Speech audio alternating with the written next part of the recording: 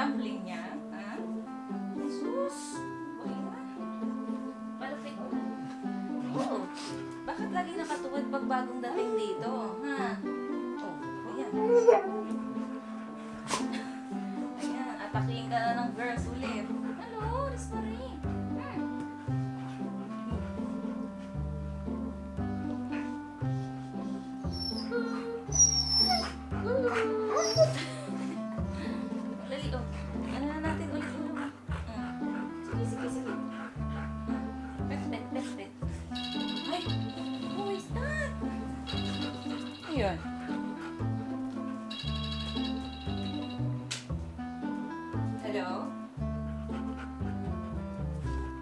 Sige po. Pababa na po.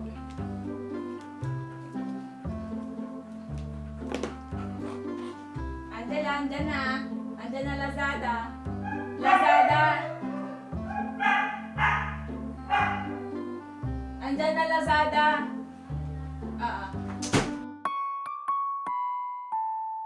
So, hello friends! Welcome back sa Husky Tears Life. O, ba? Weekly, may video na dito. Sus, ayan na nga po ang Henry, o. Hindi mahiwalay sa pempem. No need na maputulan bago makagawa ng isang video dito. So yan, anong ginagawa mo, Marie? Ikaw may sala niyan, yung mga, ayan o, yung mga butas na yan dito sa kumot, o. Sino kaya may gawa niyan? O. O. Ayun, friends, tama yung nabasa nyo by the title of this video. Dalaga na nga po ang ating Marie. Ayan siya, oh. Uy, dalaginding na iyan. Ay, sus. Pakita nga, pakita ng dalaga.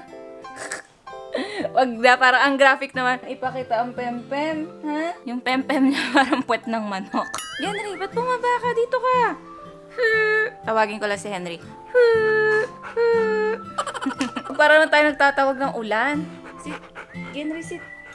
Ba yan? Hindi marunong mag-sit. Yan. Higa pala ang gusto, hindi pala sit. Actually, last week ko pa napansin to na parang may tumulo na sa kanya na medyo brownish. Kasi after nun, parang wala nang tumulo. Pero magana yung pempem niya. So, I guess yun yung first day niya talaga. Tapos this week lang namin nakita na talagang dugo na yung lumalabas. Yan, pero good thing po, hindi pa po siya ganon kadami. Or malinis lang talaga siya mag-mens. Nililinis mo ba? Oh. Hi, playtime. Playtime daw kay Ate Kim. Nakakaloka, Krim, oh. Naunahan ka pa nito. E, ikaw, yung last hit mo, August. Ha? Ano na? Naunahan ka pa. Ikaw yung ina-expect kong magkakaroon eh. Tapos ito naman, syempre, maligayang maligaya ngayon. Bonk. Ah, doon ko nga actually napansin kasi before ko nakita yung brown spots na yon, nakita kasi si Henry parang ano, dinilaan niya yung pempem ni Riz. Tapos, parang naginig yung tenga niya. Ayan na nga po, kung merong metal detector, meron ding in-heat detector. Inaamoy-amoy niya lang po yung wiwi ni Riz. Tapos malalaman niya kung pick na ba or malapit na ba mag-pick para makadiskarte na siya. Tapos sabi ko, OMG, hit na ata. Tapos dun ko na siya na-check. So, positive nga. Kaya ayan siya, hindi mahiwalay sa puwet. Mayat maya inaalam kung hinug na. Ay nako, Henry ha. Wag na wag ha. Sinasabi ko sa'yo. Sinasabi ko sa'yo. Mm. mm. Oh, bugbugan na naman sila. So, yun nga po, since first hit pa lang ni Bebe Doggy, hindi pa siya pwede magkaroon ng babies. Kasi, syempre, ano pa siya, hindi pa well matured yung katawan niya. Hindi hindi talaga pwedeng mabuntis to. Pag-iigtingin namin ang pagbabantay kay Henry. Diyos ko po, Riz wag... Pinanglilinis mo ng pempem yan eh, hindi lamo eh. Diyos ko po, Riz, wag mo na magpapaligaw ha. Baka hindi ko kayanin, himatay na lang ako. Pag nakita ko lak na kayo ni Henry. Wag isusuko ang bataan, Riz Marie ha. If ever man magkakapapis siya, mga 2 years old plus pa, Ah! Oh, ano ba yan, cream? Oh. Oh, oh, crazy cream. Oh, crazy. Ayun, ang plans ko po kasi kay Riz, if magpapapi po, mga 2 years old pa, Hoy! Bu! Bu! Nakatuwa talaga yung pagka-alert-alert kayo. Oh, oh, bardagulan. Favorite pastime. Oh, ang lalakas po. Yan ang paboritong magkalaro. Mm.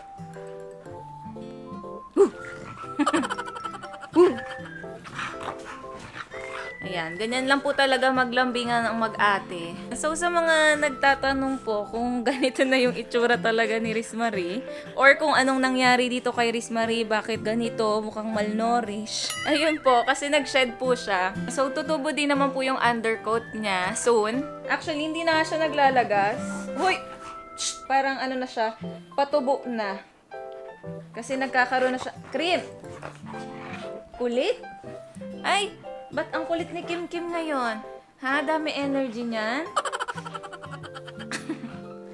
Oh. Si Riz lang kasi nakakalaro niya ng totoo eh. Pag si Sugar kasi, hindi eh. Dinodominate siya masyado. Kaya ngayon, simulan dumating to, super active na rin to si, ano, si Ate Cream. Oh, dali oh. Play ulit, play oh. Tapos ang wang-wang boy niyo tulog na. So, ayun nga po. Ano na yung chika ko? Ano na yung chika ko?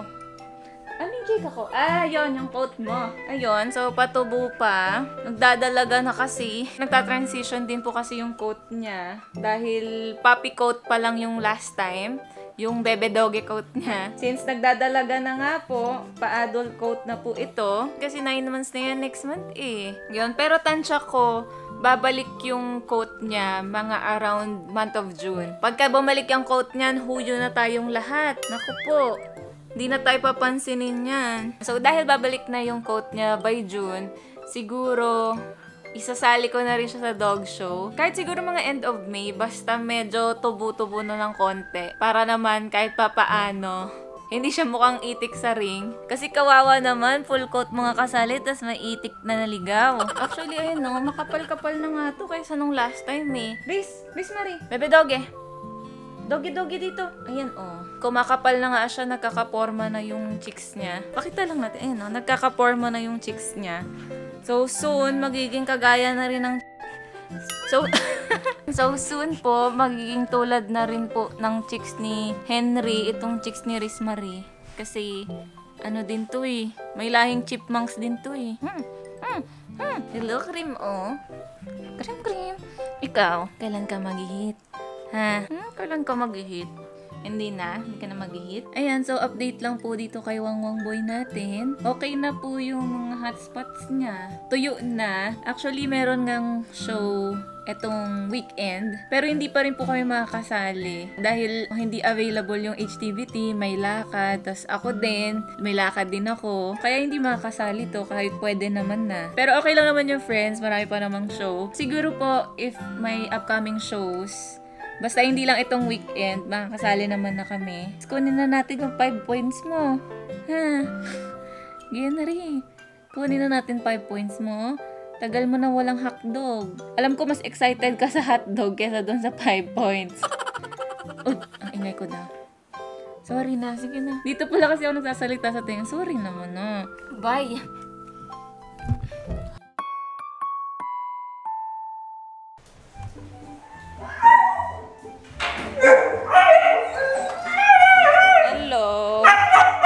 Di kasi kayo kasya nasa taas. Ha, ay, awawa naman mga asong baba. Sus. Paano naman ako makababa? Ay, sus. Oh, oh, mag-aaway pa. Hoy, ang pati. Ah, ah, ah, aray ko mo, Chi. Dan. Oh, pati kayo. Pati, pati. Pati.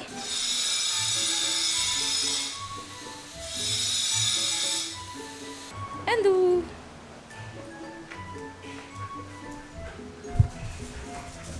Ay! Naapakan ang tae.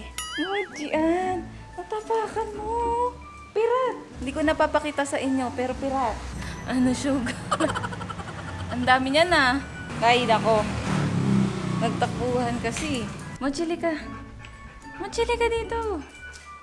Ang init. Oh, book din siya. Pooping. Uy! Bakit ka gano'n hapulan? Ay, naku po, po, Jibs. ganyan maglaro ang dalawang alpha. Oh! Sugar! Pakagaling mo ha. Paano ka bababa dyan ha?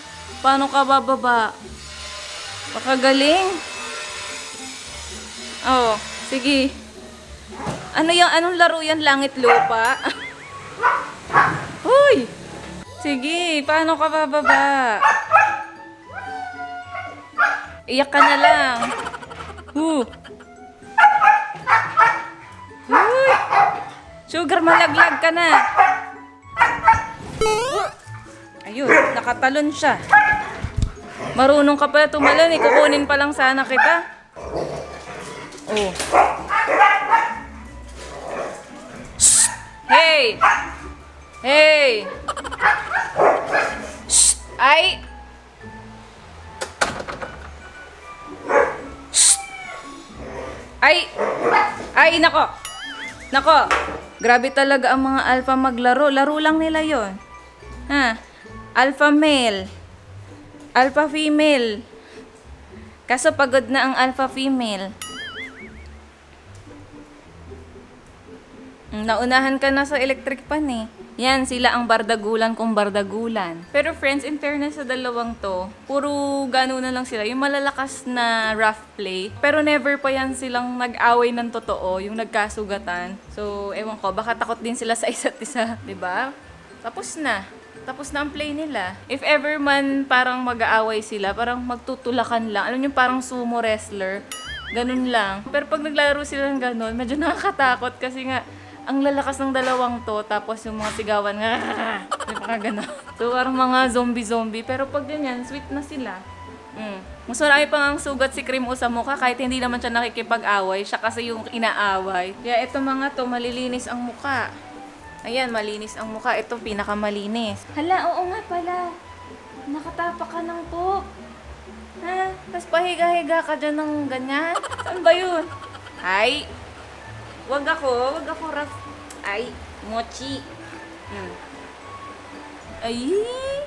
Suchi na ba? Oh, nagpapatungan sila ng po, oh. Pasigaan sila, oh. Oh, pasigaan yan.